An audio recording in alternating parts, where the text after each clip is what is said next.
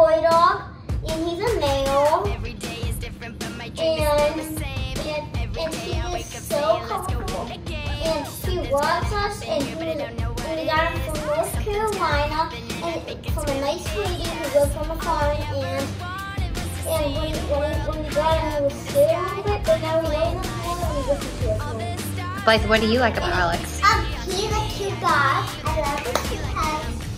He gives me after school. And he's a cute dog. Gotta focus on your passion if you want to get it right. He's a good dog.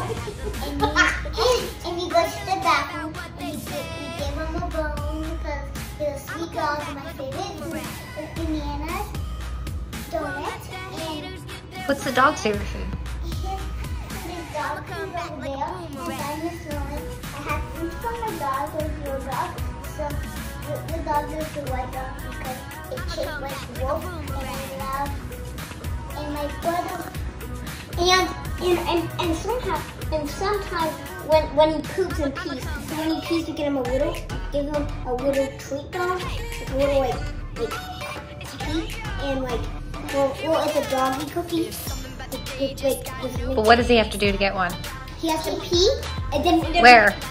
Outside, Yeah. and, and you can see it like the, and you can see it out there in the background. Sorry, Miss Lauren. We're getting very detailed. All And, and, right, wrap it up. So tell Miss Lauren that we hope to see her soon, right? and the and the dog when he when he, and when he goes poop, then we give him Chase. a big giant bone.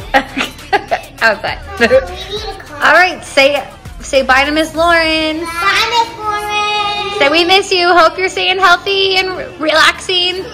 And hope to see you soon. Bye.